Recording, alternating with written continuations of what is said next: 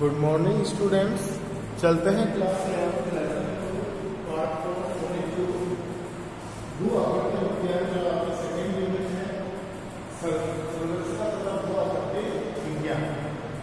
اس میں ہم پہلے تین میں ہر کر چکے ہیں سب سے پہلے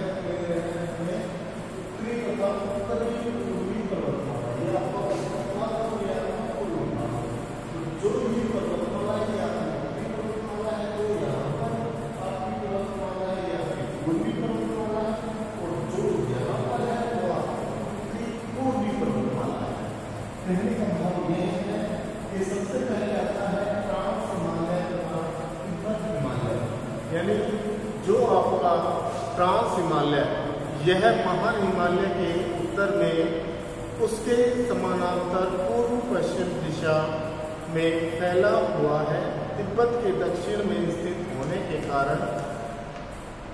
اسے تبت ہمالیہ بھی کہتے ہیں۔ نو سو ساٹھ کلو میٹر لمبی اس شرینی کی اونچائی اکتالیس سو سے ستاون سو میٹر ہے۔ کہنے کا بھاؤ یہ ہے کہ جو اتری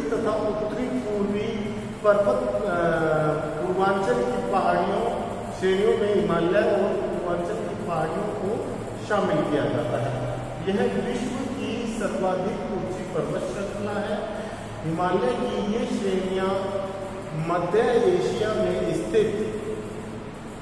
پامیر کی گاٹ جسے دنیا کی چھت کہا جاتا ہے سے نکلنے والی وشال کمر پرنالی کا ایک انگ ہے۔ اس کا سنکت وورن اور ہم آپ کے سامنے کریں گے۔ نرسنگ نگر میں آپ کو پہلے بتایا آٹھ کتاب جو ہے۔ تبت جو آپ کا چین ہے۔ تبت کے دکشنی بھاگ میں جو ہے، اسے ہم لمبائی نو سو ساٹھ کلو میٹر ہے، جبکہ اس کی اونچائی اکتالیس سو میٹر سے ستاون سو میٹر کے لگ بھگ ہے۔ یاد رکھیے گا کہاں پر اسکول ہے تیبت میں اونچائی کتنی ہے؟ اکتالیس سو سے ستاون سو میٹر۔ اور لمبائی کتنی ہے؟ نو سو ساٹھ kilometre.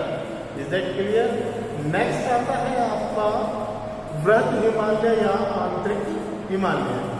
یہ ہمالیہ پروت کی سب سے اونچی شریری ہے اس کی اوسط اونچائی چھ ہزار میٹر تتھا اوسط چوڑائی لگ بھگ پچیس کلو میٹر ہے۔ وشو کی اتم چوٹیاں اس شریری میں استعمال جیسے گیٹی ایوریسٹ اتیاد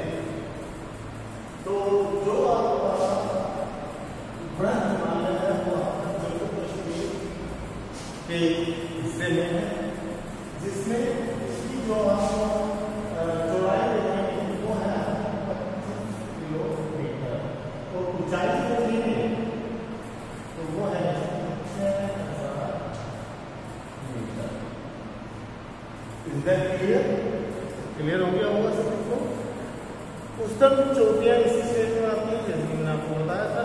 بتایا یا مدھیہ ہمالیہ یہ شہری برت ہمالیہ کے دکشن میں لگ بھگ اس کے سمانانتر پورو پشچم دشا میں وسترت ہے۔ اس کی اوسط اونچائی اسی کلومیٹر تھا چوڑائی سو اور اونچائی سینتیس سو سے پینتالیس سو میٹر ہے۔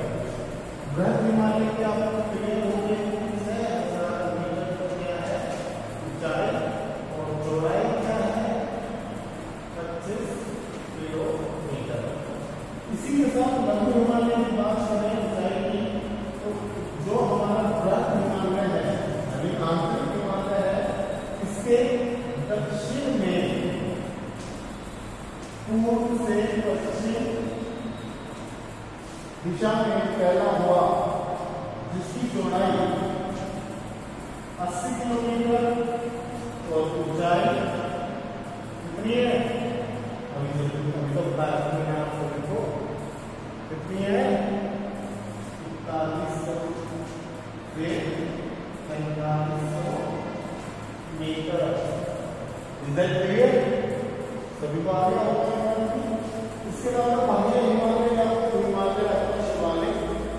پین اگر ہم ان کی بات کریں، تو یہ شہریاں لغو ہمالیہ کے دکشن میں اس سے سمانانتر پور پشچم دشا میں پھیلی ہوئی ہے۔ اس کی چوڑائی دس سے پچاس کلومیٹر تک اونچائی نو سو سے بارہ سو میٹر تک ہے۔ مکھیہ ہمالیہ کے اترکت کچھ شاخائیں بھی ہیں، جس کا سنکشپت ورنن ہم نیکسٹ ویڈیو میں کریں گے۔ تو آپ کو کئی ہوں گے کہ ویڈیو ہو گیا ہوگا۔ چوڑائی کتنی ہے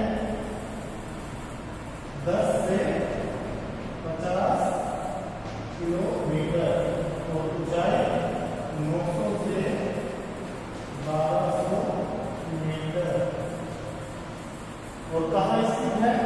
لگو یا مدھیہ ہمالیہ کے دکشن میں پورب سے پشچم تک اس کی چوڑائی ہے۔ اور نیکسٹ ہم اس کے نیکسٹ ویڈیو میں کریں گے وہ پارٹ فائیو میں آج کے لیے میں آپ کو اتنی بتاؤں اتنے پوری پروت مالا جو آپ کا اتنی بھاگ ہے اتنی